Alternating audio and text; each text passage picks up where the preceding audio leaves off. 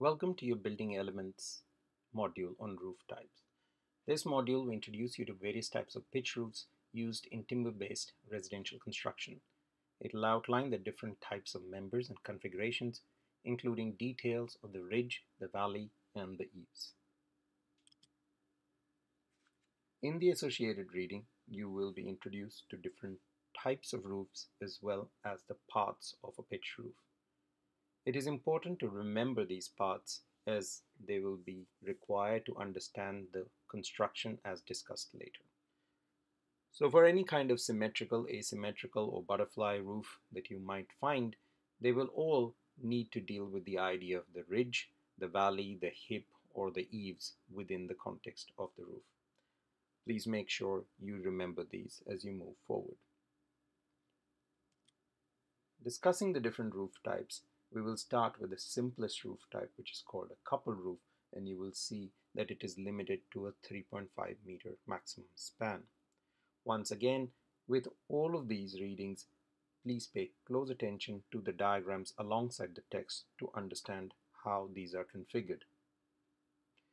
You will see that in the diagrams as well as the text you are continuously introduced to newer terms you need to know these terms to be able to then continue to understand the construction of roofs later. Here we introduce to newer terms such as the ridge board or the rafter and the wall plate. Moving forward from a couple roof, you'll start seeing how these are modified to create broader spans, such as a close couple roof, where the addition of the horizontal members now allow us to span up to 5.5 meters, and similarly the collar roof as well. Addition of different members and increasing complexity of the roof will lead to bigger roof structures such as the purlin roof or the double roof.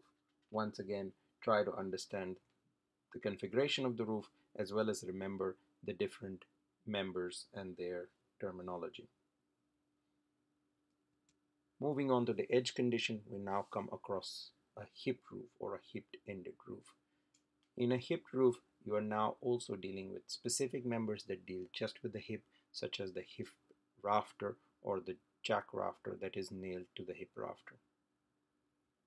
Hip roofs also constitute, in addition to hips, the possibility of valleys to be formed between them.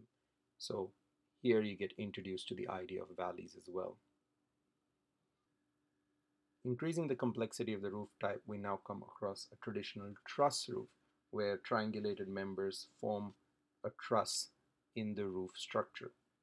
These could be done in a standard construction as identified in a traditional truss roof or in an industrialized section where the truss roof is constructed in a factory and then brought to site. You will now see that in addition to the overall configuration of the roof, the range of materials that is being used has also transformed. Once again, you don't need to remember all the details of the sizing for these members because these will be discussed separately in your drawing exercises. But the sizing will give you an approximate idea of what are the kind of spans these members can help cover and the kind of sizing that is required for the connections. The overall roof configuration is followed by an extended discussion on the different types of eaves. You should be able to identify the difference between an open eave, a flush eave, or a closed eave. The further details of how these are actually put together in an assembly for a roof will also be discussed in your drawing exercises. Of particular interest would be the implication of the eave on the insulation of the roof. The section on dormer windows is less important as these are not used very regularly. However, you should look through it quickly to be able to recognize the possibilities of a projecting recessed or partly projecting dormer window inside a pitch roof configuration. This is all for this module. See you in the next one. Thanks.